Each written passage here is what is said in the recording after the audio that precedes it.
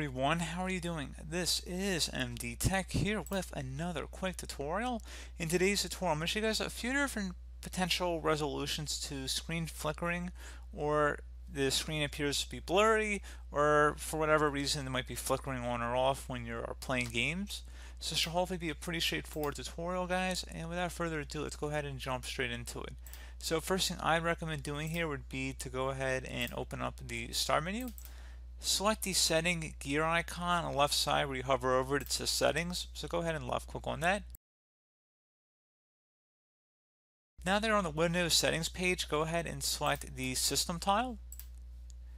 And then select display on the left side. Now you want to go near the bottom of this page here, so where it says advanced display settings, go ahead and left click on that. Take note of whatever display is currently listed here, and you can minimize out of here. Open up the start menu, type in Device Manager.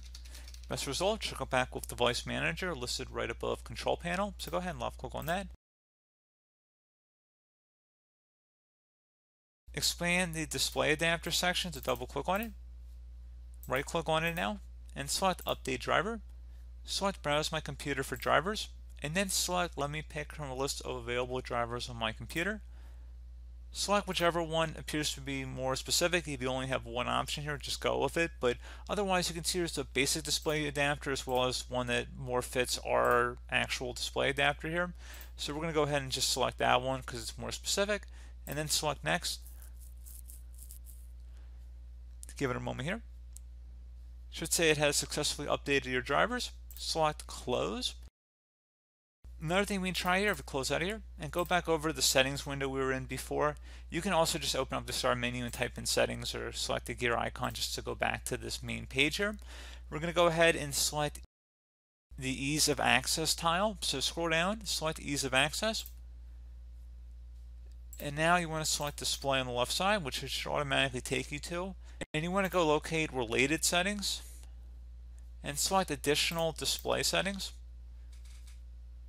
You want to make sure everything is set to recommended here. So if it's set to something else, make sure it's just set to recommended. It's not zoomed in too much or zoomed out. And make sure your screen resolution is also correct. So if it looks too boxy or it's too small, you may have to go ahead and adjust that. But generally speaking, recommended should be the recommended option that I would recommend. So I know there was a lot of recommends, but you know, I think you guys got the point of it.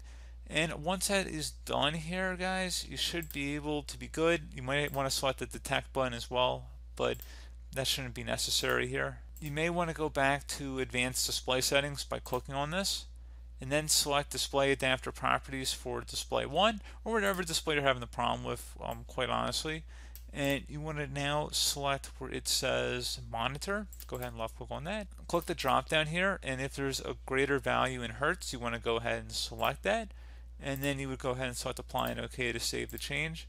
So like I said, pretty straightforward tutorial guys. Do hope that I was able to help you out and I do look forward to catching you all in the next tutorial. Goodbye.